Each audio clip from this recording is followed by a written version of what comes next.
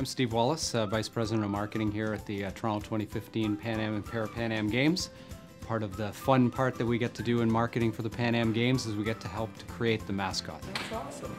That's incredible. So every day we get the mail to come in and we uh, get to go through it. And today brought about nine people together to bring in the mail, go through the mail, and look at all the amazing mascots that were created by Canadians. Went through kind of the rules and, and all the different elements that we're looking for in the best mascot for the games. So as you remember, spirit and values of Toronto 2015. Original and representative of our brand. And then one by one, we opened up each envelope. Mississauga, Whit Whitby, Look at this one. This one's gonna have Richmond Hill. Hamilton.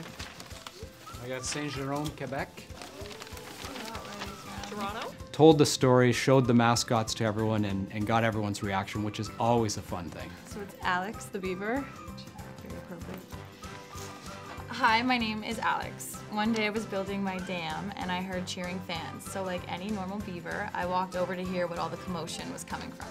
I saw the Blue Jays playing right then and there and I fell in love with them. Maple loves to fly, travel, and explore new and in different places. Some hobbies that this colorful parrot loves are drawing and playing sports. And his tail, I, you noticed his tail. So his tail is very colorful and it actually represents the 41 Pan Am countries competing in the games.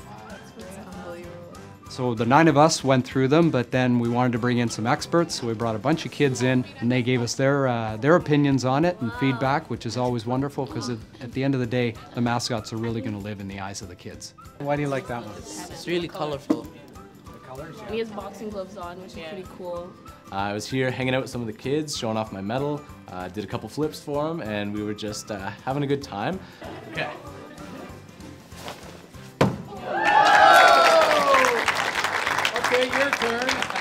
yeah, we were just trying to figure out what the mascot for TO 2015 is going to be.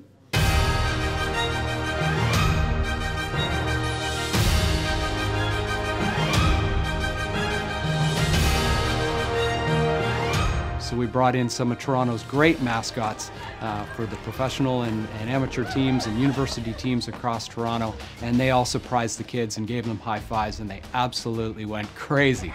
So we're excited about what the Pan Am Games are going to bring, the Para Pan Am Games are going to bring, and what the mascot for our games are going to be, and the excitement that was in the kids' faces when they saw all these other mascots, all the mascot friends come in to greet them. So the one fun thing about mascots is they end up taking over. They took over a few offices of the, some of our workers here at Toronto 2015, and as well as I think they trashed one of our boardrooms, uh, gave us their own opinions on the mascot, because of course they're a little bit biased, because they want themselves to be uh, the center of attention. And uh, so, but we all took it in fun, and it was fabulous to have, uh, have the mascots here in the, in the Toronto 2015 offices. The core group got back together, and we sealed the door in our little mascot conclave and we decided that we would go through the mascots one by one, take all the feedback, and we'll let you know how the top six look.